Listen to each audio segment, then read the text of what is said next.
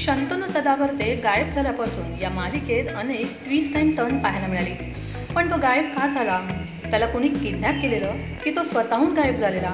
या सर्व प्रश्नांची उत्तरं आता लवकरच प्रेक्षकांना मिळणार आहेत. कारण आजच्या भागात त्याचा उलगडा होणार आहे. ऐश्वर्या बाबतीत तिचा इगो पेटत ठेवलास तू कारण तुझा इगो हरट झाला होता.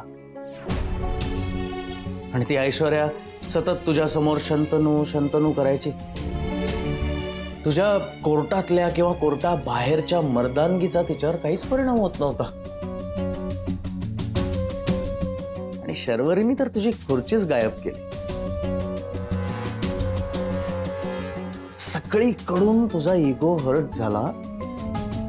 म्हणून मग आता ह्याला गायब कर. ह्याला पळवून ने.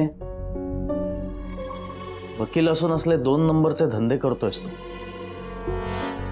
गुड अभ्यास छान झालाय तुझा। हम्म? छान तयारी केलीस पण तरीही तू नापास होणार आहेस। कारण मी तुला इथून बाहेर पडूच देणार नाही. पुण्यात राहतो मी तिंबकतूला नाही. इथे माणूस हरवला की पोलीस शोधतात त्याला. पण शोधायला येईपर्यंत तो माणूस जिवंत राहायला हवा ना. हम्म?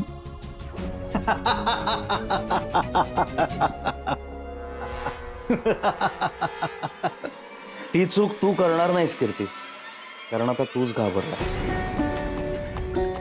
तुला कळलंय तुझा खेळ संपलाय ते. ऐश्वर्याच्या नादाला लागून किती वेळा लोकांना गंडवशील, आता तूच फसलायस. गप गप म्हणून काही होत नाही. ऐश्वर्यासाठी, तिला तिच्या गुन्ह्यांमधनं बाहेर काढण्यासाठी तुला किती गुन्हे करावे लागले, त्याचा काउंटच संपलाय तुझा आता. त्यामुळे घाबरलायस. तू. म्हणालास ना मला शिक्षा होणार आहे. तशीच ती तुलाही होणार आहे. तू वकील आहेस कायदा नाही. आणि आता ना तू पूर्णपणे त्या स्वतःच्या जाळ्यात अडकलायस. बुडलायस पार आणि असा काढला गेलायस त्यामुळे मला उचकवू नकोस. नाहीतर आपण मेलू का नाही? असं इतके हाल करीन मी तुझे.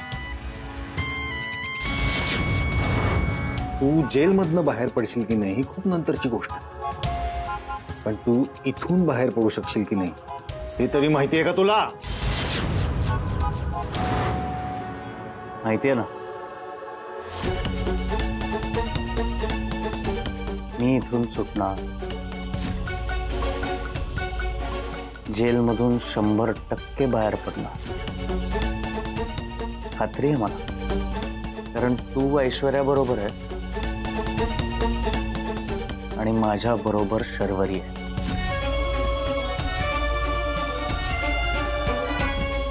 या मालिकेचे आणखी अपडेट्स लवकरच आम्ही तुमच्यापर्यंत घेऊन येणार आहोत. तुम्हाला आमचा व्हिडिओ आवडला असेल तर लाईक करा शेअर करा आणि सबस्क्राईब करायला विसरू नका.